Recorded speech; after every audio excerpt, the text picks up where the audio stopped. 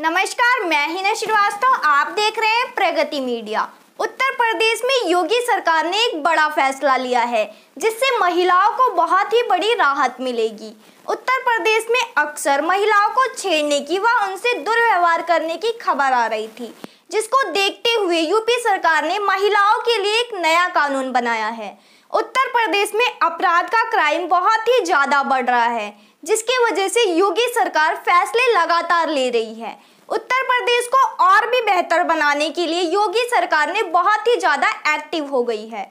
UP सरकार ने महिलाओं की सुरक्षा के लिए पहले भी काफ़ी कानून बनाए हैं, जिसके लिए उन्होंने एक टीम भी बनाई, जिसका मकसद था कि किस तरह से महिलाओं के साथ दुर्व्यवहार को रोका जा सके। टीम काफ़ी फैसले लिए, लेकिन जो मनचले हैं, वह लड़कियों को छेड़ने में कोई कसर नहीं छोड़ते। इसीलिए यूपी सरकार की तरफ़ से फैसला निकाला गया है कि अब जो लड़के लड़कियों के साथ दुर्व्यवहार करेंगे, उनका पोस्टर बीच चौराहे पर लगाया जाएगा। सीएम योगी ने एक नई, बल्कि सारे ज़बरदस्त फैसले लिए हैं। सीएम योगी ने कहा है कि अब लड़कियों के साथ बदसलूकी करने वाले या रेप करने वाले व्यक्तियों का पोस्टर चौराहे पर व गलियों में लगाया जाएगा, ताकि जो लोग खुद इसका इंसाफ कर सकेंगे।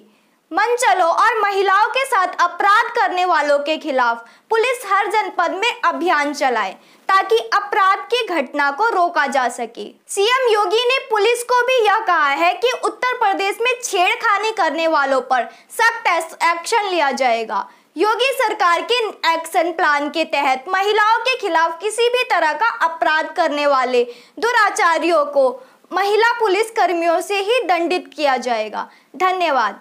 खबरों में बने रहने के लिए प्रगति मीडिया को लाइक करें सब्सक्राइब करें।